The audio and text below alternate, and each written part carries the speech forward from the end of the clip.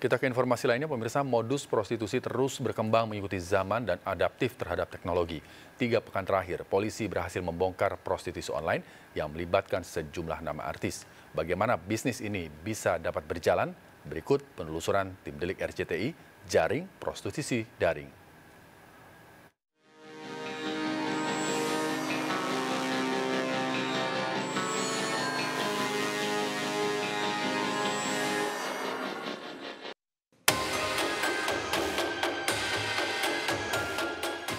Akhir November lalu, unit reskrim Polsek Tanjung Priok, Jakarta Utara mengamankan empat orang yang diduga terlibat prostitusi online.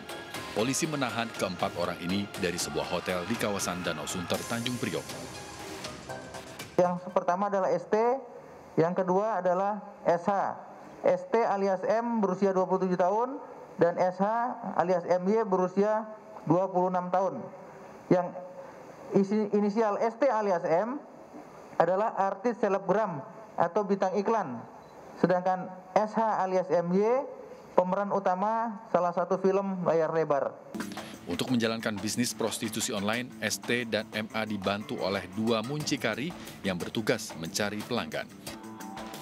Tersangka mucikari ini uh, berinisial AR umur 26 tahun.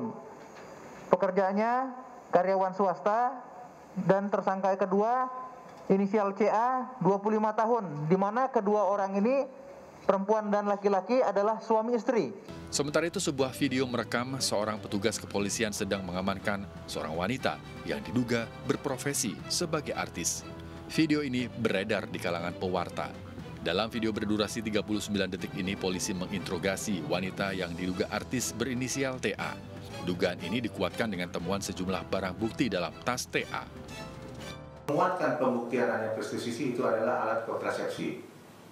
Jadi ada alat kontrasepsi, kemudian ada pembayaran, lalu ada mucikarinya, lalu ada korbannya.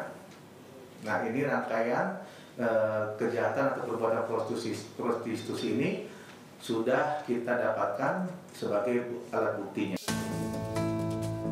Polisi juga telah memastikan akan melakukan pemanggilan terhadap enam wanita yang diduga terlibat jaringan prostitusi online ini. Keenam wanita dengan latar belakang beragam ini masuk dalam daftar Mami Alona dan siap untuk dijual.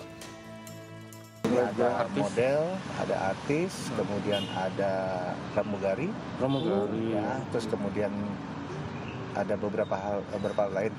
Untuk sementara kita akan minta keterangan. Kini, pelaku prostitusi telah menjajah ke usia belia. Tak sedikit mereka yang masih di bawah umur telah masuk ke dalam jerat prostitusi online.